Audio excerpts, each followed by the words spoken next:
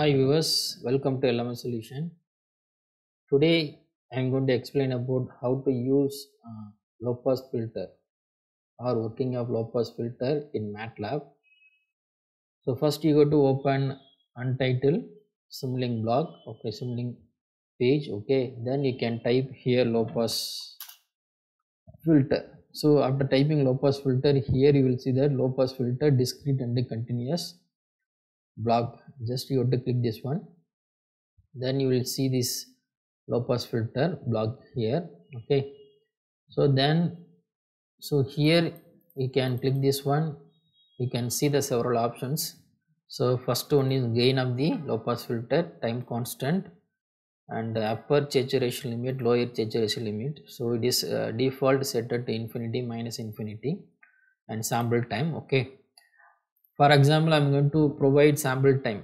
Uh, that means i'm going to consider 50 hertz uh, uh, up, up, up to 50 hertz i'm going to allow that signal right? So i'm going to consider the time constant will be 1 by 50 and then i'm going to apply and next i'm going to use sine block okay? Here i'm going to use sine wave input block so and then i'm going to fix this frequency here the sine amplitude and bias and then frequency frequency in terms of radian per seconds okay? So here i'm going to consider uh, uh, the radian per second right? For example 2 pi f right? So here i'm going to consider 2 pi f is 50 okay? So i'm going to consider this one so next i'm going to use scope window for seeing the results of the, the output of low pass filter and the input. So here i'm going to take two inputs so one for input another one for a output. So just i'm going to connect. So this is input and this is output okay? So here i'm going to make the time will be 0.1 seconds. So next i'm going to check the result of the scope okay.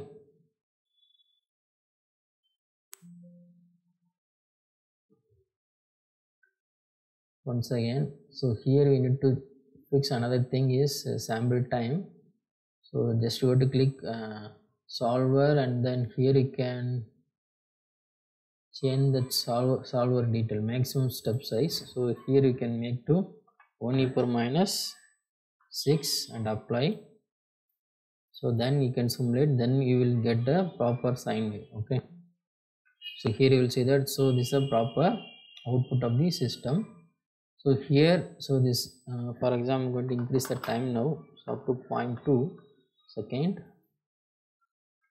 So this is your input and then this is your output okay?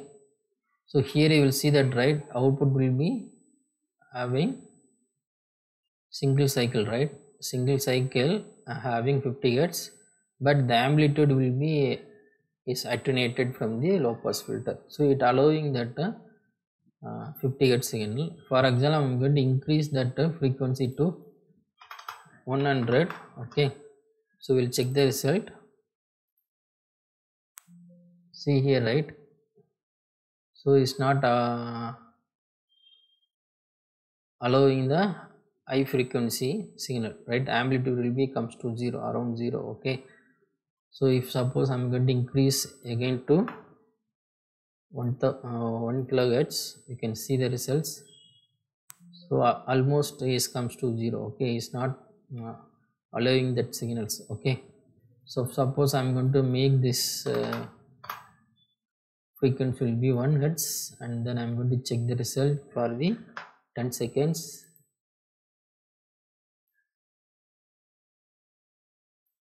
so here it is allowing that okay. So that means the signal having uh, that means input output having similar kind of output.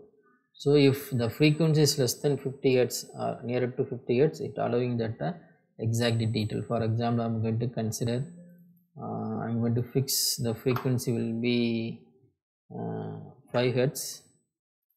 And then i'm going to check now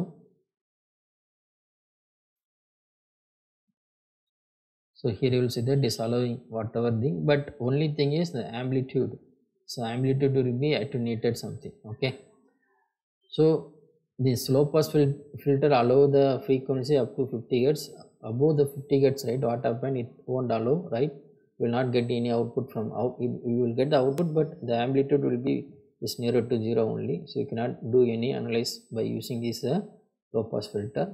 So for uh, for filtering that uh, signal is less than some cutoff frequency right? So you can use this one in your projects okay? Thank you. Thank you so much. Bye bye